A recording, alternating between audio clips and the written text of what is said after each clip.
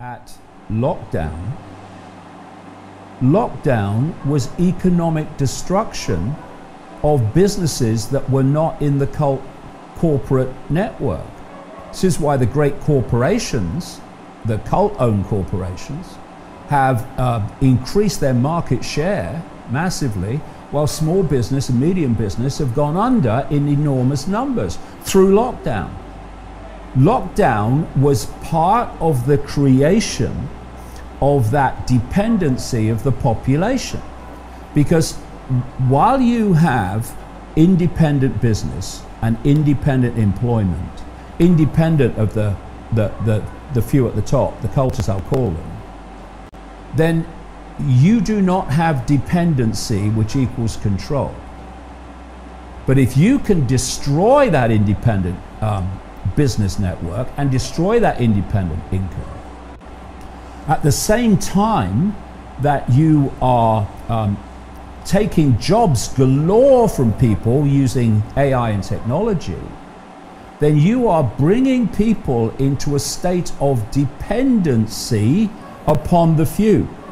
So, uh, you've lost your job and you lost your business, and oh, yeah, your job's gone to AI. So, um, how are you going to uh, put food on the table? Um, and this is where I've been writing about this for decades. And it's now being trialed all over the world. Not trialed, it's being introduced. It's called the guaranteed income. And the guaranteed income will be a pittance, relatively, um, that will be given to people um, who have no other form of income, which is increasingly more and more people. But it will come with, um, with, with consequences. You get your guaranteed income only if you do what you're told. So, um, what we're looking at is if people want to see what this Hunger Games society is supposed to look like, then look to China. Because China is the blueprint on which this global system, which the era was designed to push on massively and has, um, China was the blueprint. And it, it, it might be worth that because this will be part of where it goes from here. Uh, just looking at the sequence of events that led us to where we are now in the West and indeed the rest of the world. The Mao revolution in China was a cult revolution. Mao was the cult's guy. And the whole foundation of it was to create a closed society of utter tyranny where when um, the, the tyranny in power said this is going to happen, there wasn't a debate, it just bloody happened, which meant that they could move real fast with this system. There was some lip service to freedom, democracy, and debate, so everything could move slower in terms of moving to this um, dystopian system.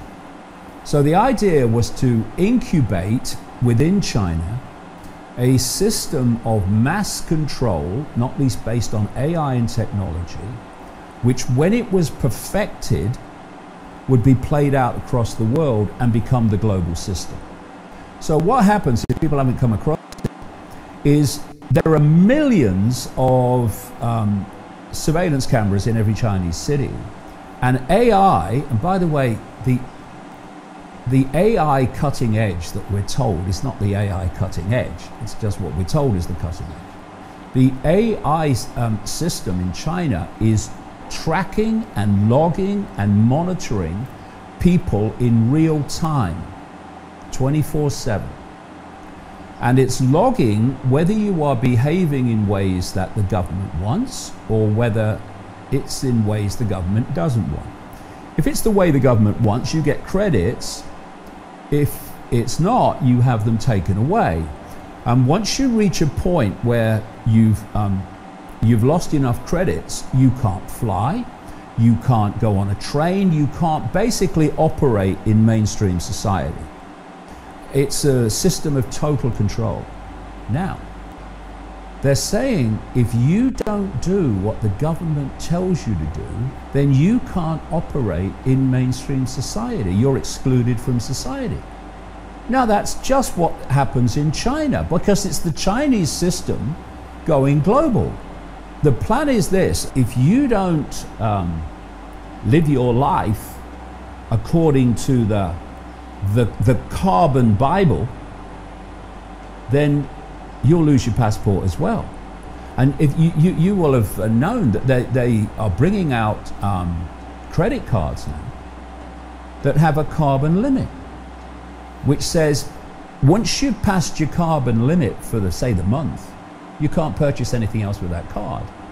Right? And and this is where the whole thing is moving. And eventually this currently Green Pass will morph into the social credit system of China where your entire life will be dictated to by your behavior and if you don't behave as the government wants, then you'll be excluded from society.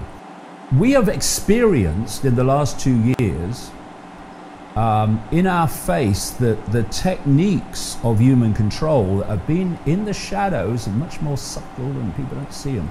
It's been put on public display. And see, I, I said years ago, there's going to come a point where this agenda has to break the surface where people can see it. Because at some point, what they have been manipulating towards under the radar has got to break the surface if it's going to transform society. At some point, this transformation has to become obvious. And that's where we are.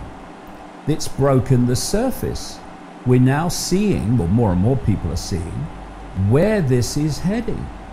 And it's heading into a level of human uh, control via AI and technology that um, Orwell will be somewhere shaking his head and saying, God, I so understated